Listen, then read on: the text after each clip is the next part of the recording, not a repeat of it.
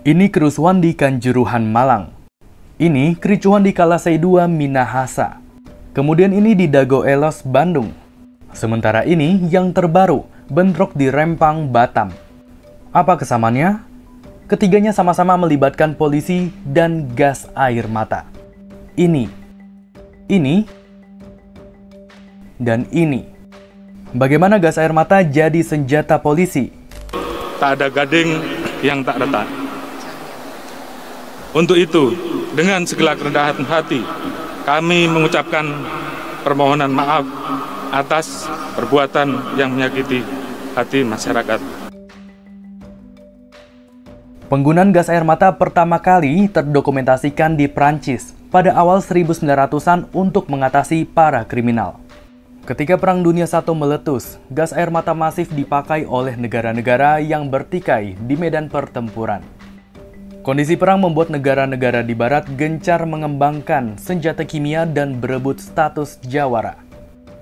Ini pula yang dilakukan AS lewat Chemical Warfare Service atau CWS di bawah kendali Jenderal Amos Fries. Tak lama setelah Perang Dunia Pertama berakhir, sang jenderal melihat situasi di mana bahan persenjataan kimia masih tersisa dan ia berpikir, sayang kalau langsung dimusnahkan. Senjata kimia yang dikembangkan CWS berbahan kloroestofenon Akhirnya, Fries menawarkan hasil riset timnya ke sektor swasta dan polisi. Ia menggandeng kolega-koleganya di level atas, sembari meyakinkan bahwa barang ini perlu dimiliki supaya keamanan dalam negeri bisa tercipta. Pendek kata, Fries berdagang senjata gas air mata. Ia melihat ada kesempatan yang bisa dijadikan profit. Gayung pun bersambut. Situasi di AS pada masa itu memang labil, Sepanjang 1919 sampai 1921, ada 29 demonstrasi berskala besar yang sampai mengharuskan pemerintah AS menurunkan pasukan federal. Ini termasuk kerusuhan rasial yang kelak populer dengan nama Red Summer. Pada 1923, senjata gas air mata bikinan CWS sudah tersedia di 600 kota di seluruh Amerika Serikat. Keadaan itu kemudian mendorong Fries membranding ulang produknya ia menegaskan bahwa senjata kimia yang tersedia tidaklah berbahaya dan tidak semengerikan seperti yang tertanam pada benak orang-orang. Dan lebih utama lagi, senjata gas air mata ini sangat efektif untuk menghalau kerumunan massa yang dianggap rusuh. Ini ia katakan kepada Senat AS bersamaan dengan implementasi protokol Jenewa yang melarang penggunaan senjata kimia termasuk gas air mata dalam peperangan. Pada 1993, aturan dan larangan mengenai penggunaan senjata kimia kembali diberlakukan melalui Chemical Weapons Convention. Belit ini menyatakan bahwa semua bentuk senjata kimia dilarang dipergunakan dalam kondisi apa pun. Namun, AS merasa implementasi tersebut tidak dapat diperlakukan sama rata.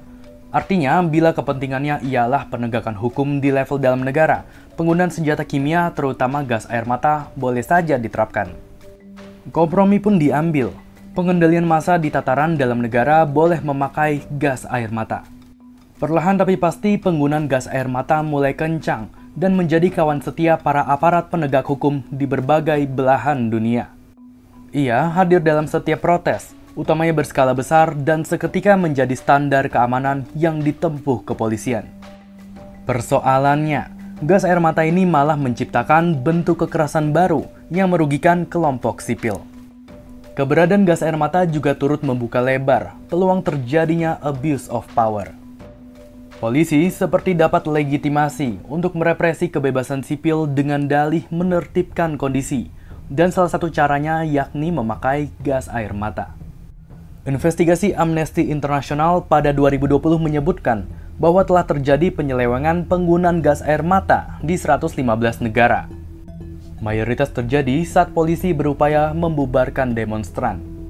Di Peru misalnya, penggunaan gas air mata telah menyebabkan demonstran yang menuntut pembubaran Kongres mengalami luka-luka. Hal serupa dapat dijumpai pula di sejumlah negara lain, seperti Ekuador, Sri Lanka, Yunani, Irak, dan tak ketinggalan Indonesia. Temuan ICW dan Trend Asia mengungkap, sepanjang 2015 sampai 2022 terdapat 144 peristiwa penembakan gas air mata oleh kepolisian. Tahun 2019 menjadi titik mangsa tembakan gas air mata paling sering dilakukan, yakni dengan 29 kasus. Ini tak dapat dilepaskan dari konteks sosial politik waktu itu, tatkala demonstrasi menolak pemberlakuan RKUHP dan revisi UU KPK meluas di berbagai daerah di Indonesia. Penggunaan gas air mata secara eksesif, celakanya tidak dibarengi dengan transparansi, dari kepolisian soal anggaran maupun pengadaan.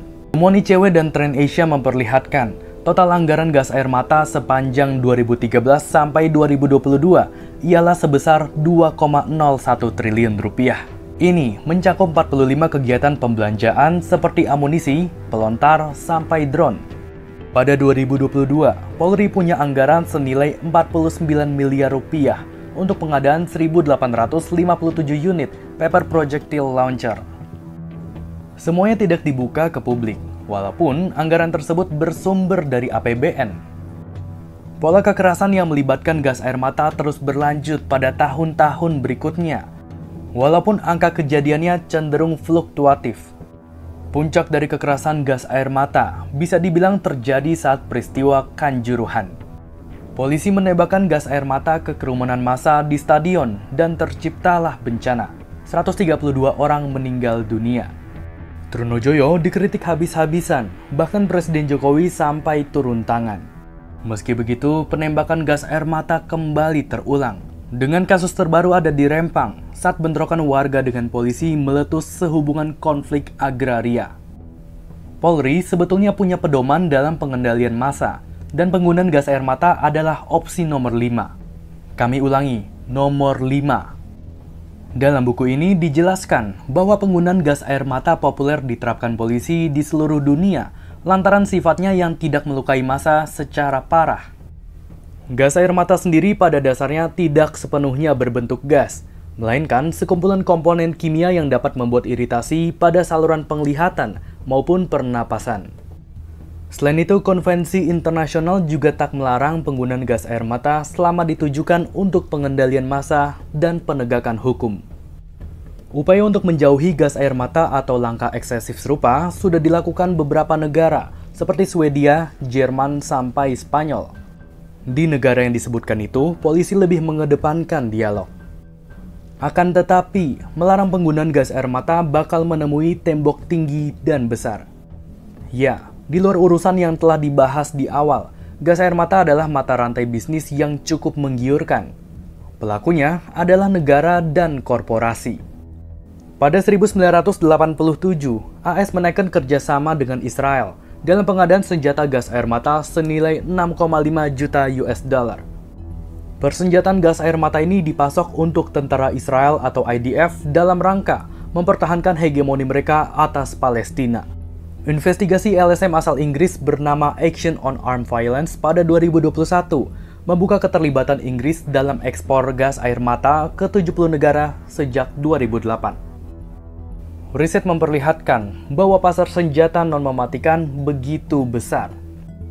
Pada 2023, nilai market industri ini ditaksir sebesar hampir 5 miliar US dollar dan diproyeksikan bakal terus bertumbuh selama lima tahun ke depan menjadi 6,1 miliar US dollar. Di dalam valuasi market jumbo itu terselip dua nama korporasi asal Amerika Serikat, Safariland dan Combine System. Keduanya dikenal sebagai pemain besar dalam industri gas air mata. Pada 2016, ambil contoh, Safariland berhasil menaikkan kontrak pengadaan senjata non mematikan dengan kepolisian New York dengan nilai 7,3 juta US dollar. Kompetitor mereka, Combine System juga ketiban untung setelah memperoleh 1,7 juta US dollar dari pemerintah federal untuk perkara yang sama. Persoalan gas air mata memanglah kompleks. Ia akan terus langgeng dipakai aparat karena selain paradigma polisi yang menganggap demonstran adalah ancaman, Ternyata ada perputaran uang yang cukup besar di belakangnya. Dan sekali lagi, sipil yang berupaya mengekspresikan kebebasannya dalam payung demokrasi ini yang menjadi korbannya.